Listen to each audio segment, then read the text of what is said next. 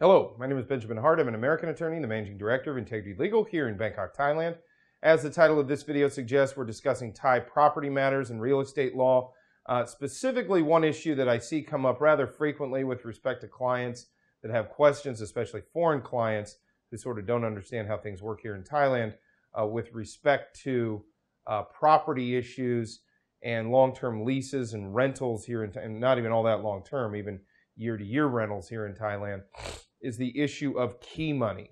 Um, strictly speaking, and, and, and I should say, as a practical matter, I only ever see this really come up with respect to commercial property, uh, especially commercial property uh, having to do with like um, food and beverage. So, uh, bar and grill, restaurant type things. Uh, you see this issue come up with respect to landlords on those kind of facilities. And what are we talking about? Well, oftentimes, a landlord in Thailand will demand what's called key money, um, which is funds generally over and above and set apart uh, from the terms of the actual lease itself.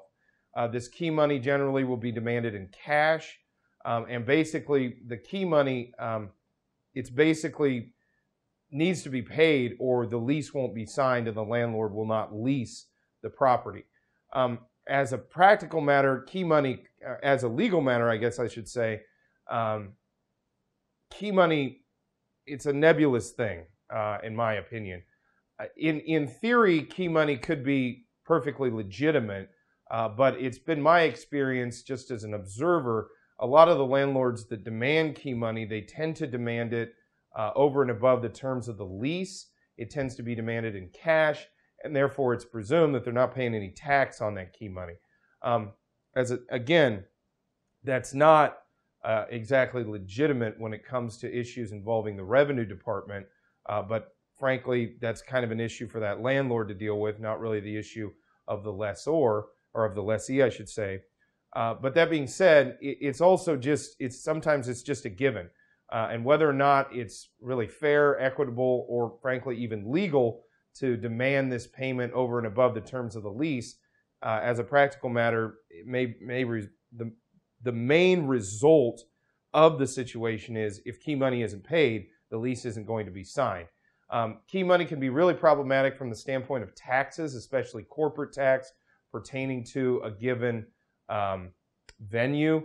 Uh, because again, if it's if it's all paid out in cash and the landlord isn't declaring it, how can one actually uh, write off that, or how can a company actually write off those funds uh, as a legitimate business expense? As a practical matter, that's not possible. So the thing to take away from this video is, yeah, key money, it's kind of, if, if nothing else, it may be uh, a requisite evil, for lack of a better term, a necessary evil um, when doing business here in the kingdom.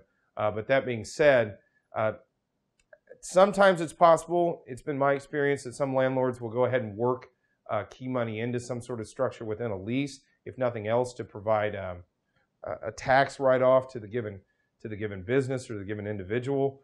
Um, but I've also seen landlords who can be very stubborn with respect to the issue of key money and not be willing to go ahead and provide um, any sort of uh, record of that transaction. So, um, probably a good idea to seek legal professional advice on this issue um, understand the situation, and you know, in some cases where it's just an untenable set of circumstances, maybe it's a good idea to just move on down the road and look for a landlord that isn't making such demands.